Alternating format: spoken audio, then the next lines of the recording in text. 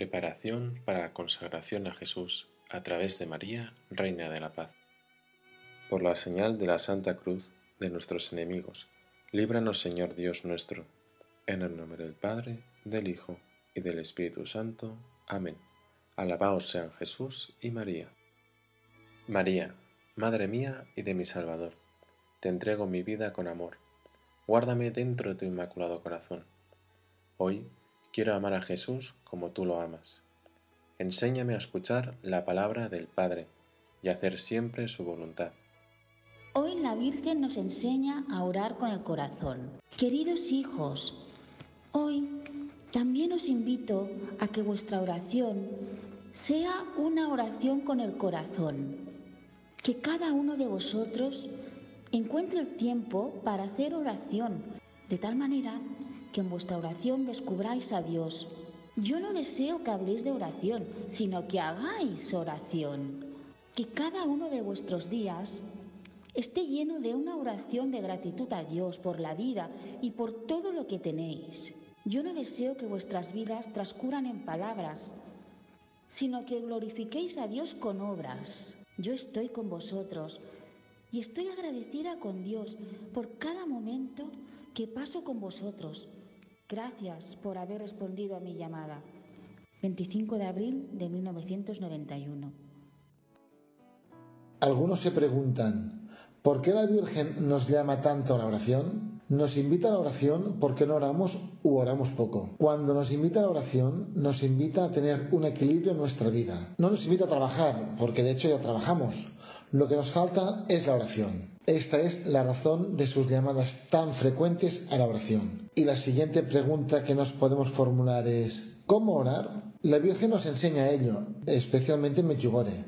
Nos enseña a orar. Nosotros, como cristianos, como fieles, podemos pensar que no lo necesitamos, que ya sabemos rezar. Pero si entramos más profundamente en detalle, vamos a ver que realmente necesitamos una escuela de oración necesitamos aprender a orar y así aprendemos algo nuevo, porque con este aprendizaje estamos creciendo en la oración y la Virgen nos invita a ello, a orar con el corazón, a crecer en la oración. Esta es la novedad. ¿Qué significa orar con el corazón? Significa algo más. No basta con orar, sino que hay que hacerlo con el corazón. Es decir, muchas veces nosotros en la oración nos quedamos en lo superficial, en lo exterior. Y ella en varios mensajes insiste diciendo, vosotros oráis. Y la oración es como una costumbre para vosotros. O si no, oráis, pero a veces solamente por costumbre. Esta es la diferencia. La costumbre, las palabras, significa lo exterior. Orar con el corazón es el interior de cada uno.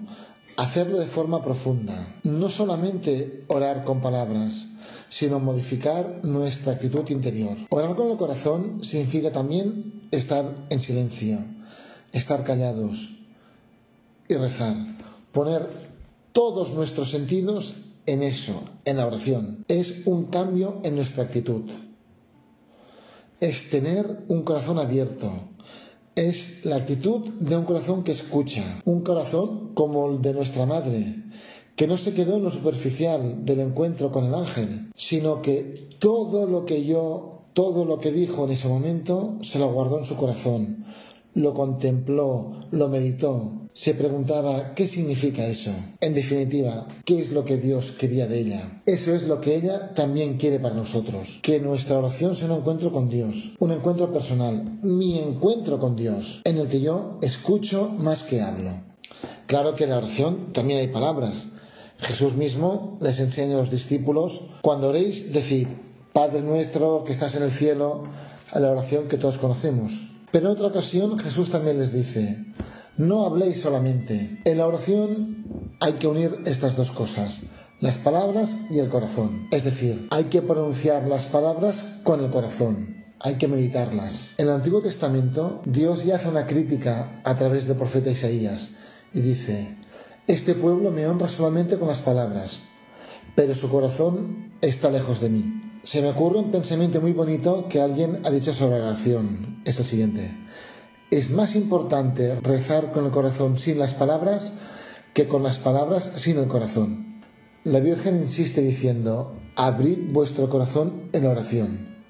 Eso significa, en primer lugar, que nuestro corazón puede estar cerrado, como el del fariseo que iba al templo, oraba y ayunaba un par de veces a la semana, pero aún así tenía el corazón cerrado.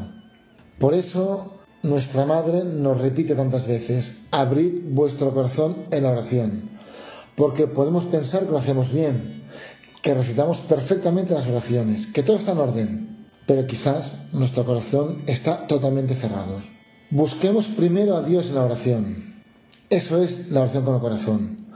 También hay que estar atentos, dar gracias y ser agradecidos por todo lo que se nos ha dado, escuchar los sonidos de naturaleza, contemplar su belleza, tener la certeza que Dios está con cada uno de nosotros orando. También, si nos ayuda, podemos repetir algunas invocaciones, como por ejemplo, Jesús, gracias, o si no, Jesús, te amo, o Jesús, confío en ti. O también recitar, Jesús, manso y humilde de corazón, haz mi corazón semejante al tuyo. O si queremos, simplemente repetir el nombre de Jesús por dentro y luego quedarnos en silencio, en oración contemplativa. Miremos nuestra forma de orar y pidámosle al Espíritu Santo que nos ayude a orar con un corazón sincero, con amor, con un corazón dispuesto a escuchar, a dejarse amar y abandonarse a nuestro Padre Dios. La Madre nos enseña a orar Permitámosle eso, que nos enseñe a orar. Seamos sus discípulos, seamos sus hijos, de los que pueda estar orgullosa.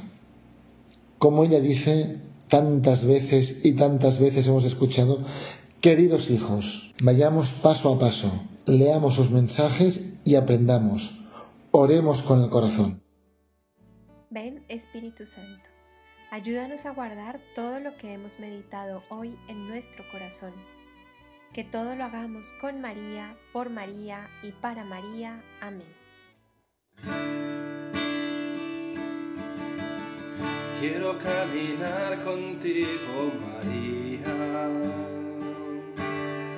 Pues tú eres mi madre, eres mi guía. Eres para mí el más grande ejemplo de santidad humildad. Quiero caminar contigo, María. No solo un momento, todos los días.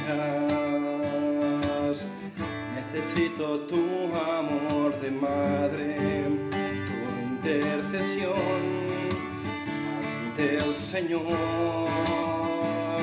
Guía mis pasos llévame al cielo, bajo tu manto no tengo miedo, llena de gracia, Ave María, hoy te ofrezco